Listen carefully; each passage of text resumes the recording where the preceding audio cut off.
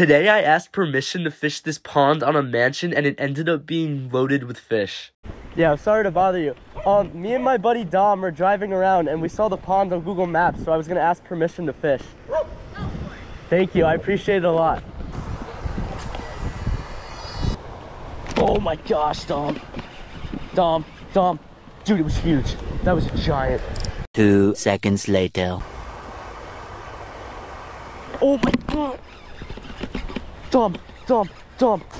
Dude, there's so many bass. Alright guys, check this out. First one. One. That's a solid one. What's he like two and a half? Two pounder? Let's go, dude. That's sick. Yeah.